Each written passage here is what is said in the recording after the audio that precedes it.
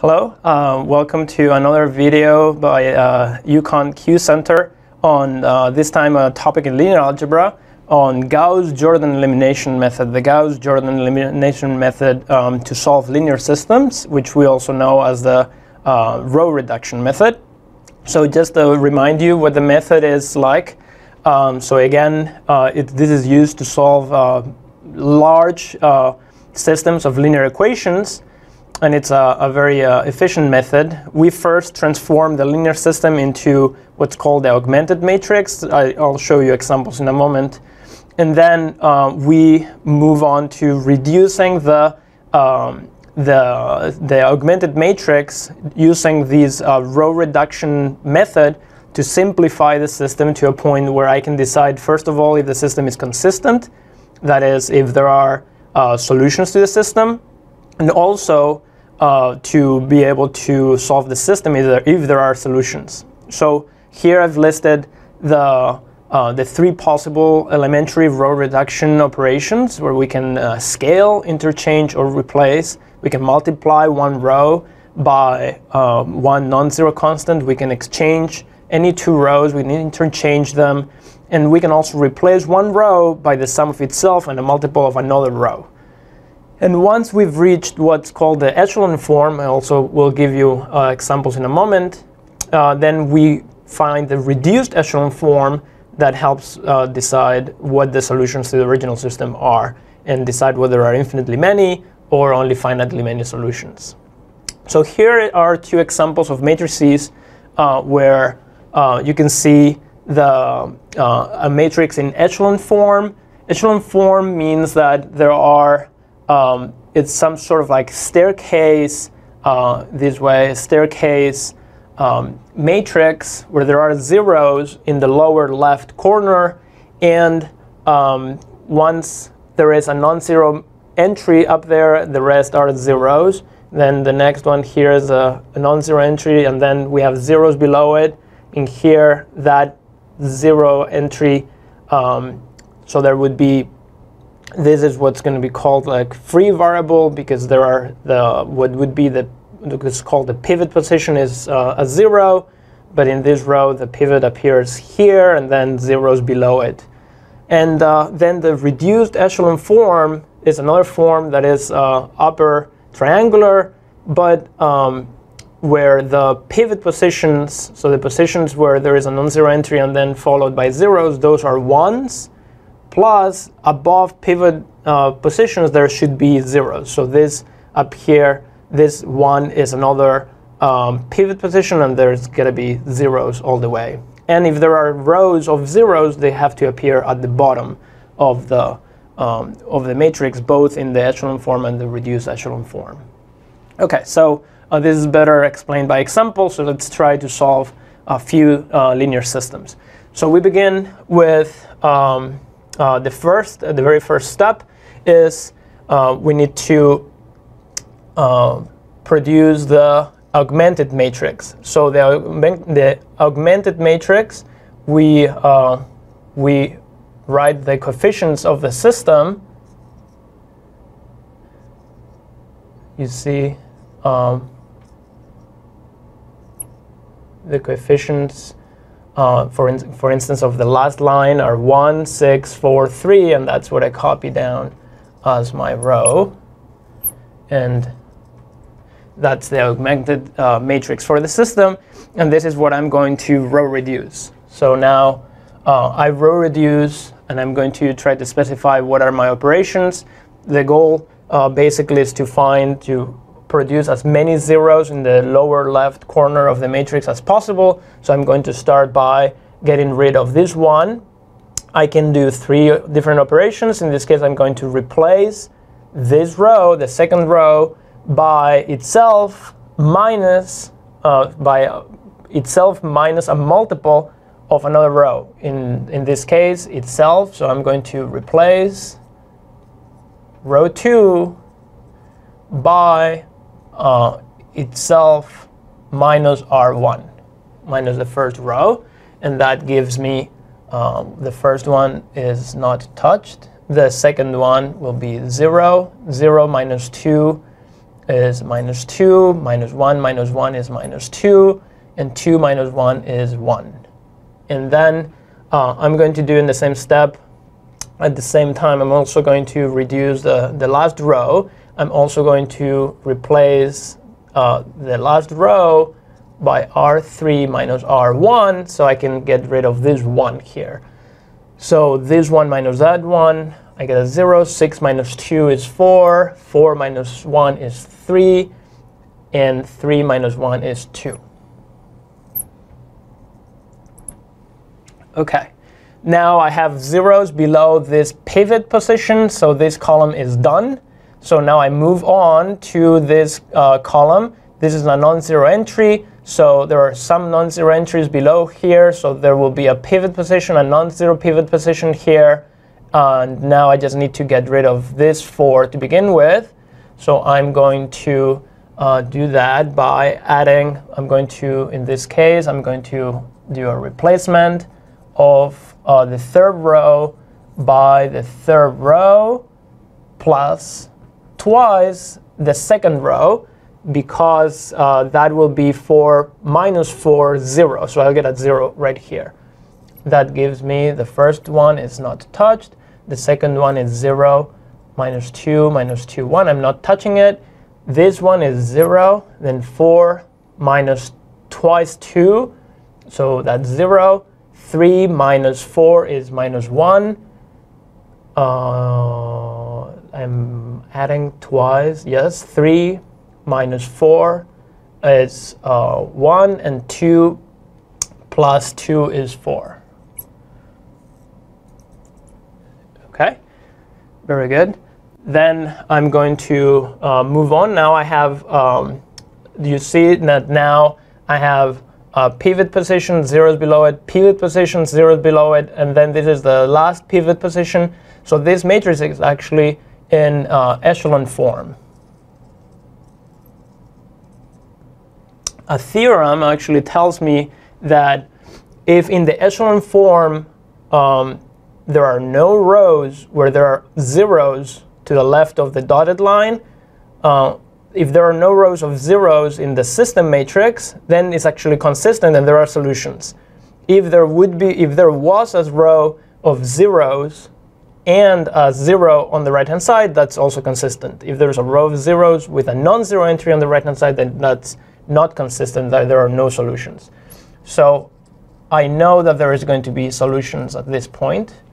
So I'm going to try to solve it now by bringing the echelon form to a reduced echelon form. So I'm going to, to bring it to reduced echelon form. You start by um, the pivot positions have to be 1. So I'm going to scale. I'm going to do two operations here. I'm going to scale uh, the second position, the second row by, uh, so I'm going to, R2 is going to become R2 divided by minus 2, and R3 is going to become R3 divided by minus 1. And that's going to give me uh, 1, 2, 1, 1, 0, divided by minus 2, that's 1. Minus 2 divided by minus 2 is 1. 1 divided by minus 2 is minus a half. And then um, the last one is 0. 0 divided by minus 1 is 1 divided by minus 1. 4 minus 4 divided by minus 1 is minus 4. Okay? Now the next step in the echelon form, above pivots, there should be zeros. So I'm going to remove this 1 this one and that one and that two. So I'm going to start with uh, the, uh, the numbers above the, the last pivot. So I'm going to replace R2 by R2 minus R3. And I'm going to replace R1 by R1 minus R3. And that gives me 1, 2, 0, 1 minus, um, minus 4, that's 5. And then um, in here, I have 0, 1, uh, 0, and minus a half minus minus 4, that's minus half uh, plus 4, that's 8 halves minus a half, that's uh, 7 halves. Okay. And the last one, I don't have to touch. We're almost there. There's only one position up here that needs to be removed. So I'm going to replace R1 by R1 uh, minus 2R2 to remove that 2. And that is uh, 1, 0, 0, and then 5 minus twice R2 is 5 minus twice 7 half, so it's 5 minus 7, um, and that will give me minus 2. And uh, then the rest are not touched. And we're done. That's uh, the echelon form for the matrix. And now you see that, that this is the reduced echelon form.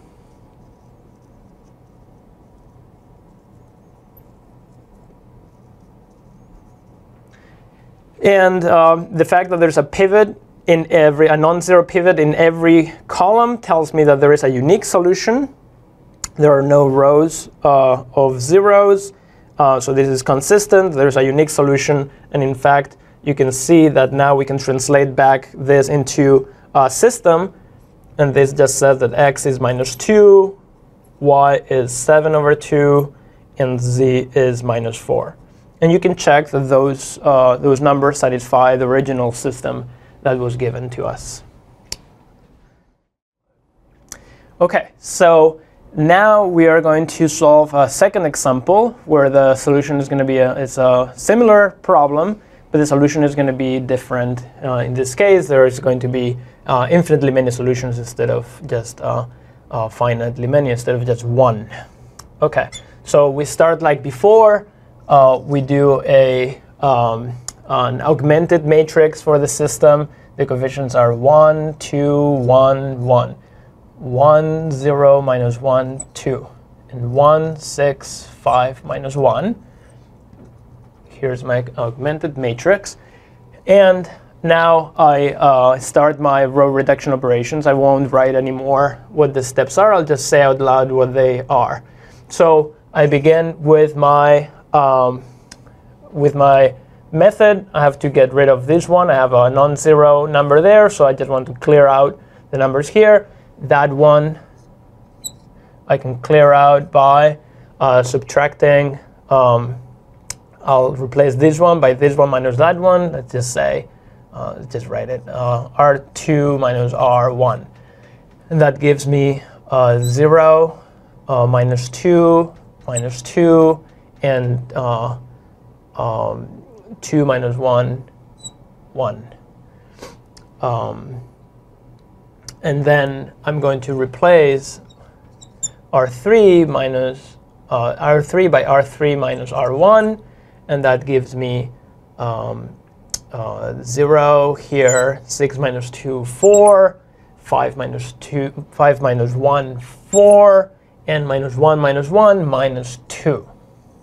Okay, so far so good. Now I keep going, and I'm going to remove uh, these four, uh, like before. Uh, let's just uh, move over here. I'm going to do, uh, I'm going to replace the fourth, the fourth row, not the fourth row, but the third row, uh, the third row by the third row minus, or rather twice, the second row, and that gives me um, 1, 2, 1, 1, 0, minus 2, minus 2, 1 like before, and then 0, um, 0, 4, uh, plus twice the above, that's 0, and minus 2 plus 2, I get 0. So now uh, this is uh, this is the echelon form. This is a echelon form for the matrix. And uh, what I see is that there is a row of zeros. Uh, in the system matrix, there's a row of zeros, but it comes with a zero in the augmented matrix um, and that tells me that this is consistent. The only row of zeros here comes with a zero there, so this is still a consistent system. So there are solutions. Now what I need to do is uh, make this into a, a, reduced echelon form. So I'm first simplify this to be a, um, a 1, so I scale it. Uh, this is then a 1, a 1, and minus a half. And here I still have zeros. And uh, remove that 2 using this pivot. So I have uh, 1. Uh, I'm going to subtract to this one, subtract twice um, uh, this line. So R1 is going to be R1 minus 2 R2. That is uh, 0. 1 minus 2 uh, is minus 1. And 1 minus um, twice this, 1 minus twice minus a half, that's 1 plus 1, 2. Okay, and then I have 0, 1, 1, minus a half, and then zeros. And that's as much as I can do. Above pivots, I have zeros as well as below. And uh, this, um, this is the um, uh, reduced echelon form. Um, and um, what this tells me, again, it's a consistent uh, system. And um, because there are columns with no pivot positions, this, uh, if this was like before, a non-zero entry, there will be a, a, unique solution. But because this column has no pivot, um, it means that this is a free variable. So remember, this corresponds to x, to y, and z, and that is one free variable. So there's going to be infinitely many uh, solutions to this system. Um, so let's see how do you find, how do you parameterize these solutions. Uh, you first go back to the original system. So to the, to the variables, this says x minus z is 2, and uh, y plus z is minus a half. And the last equation is just a consistency check. That's 0 equals 0.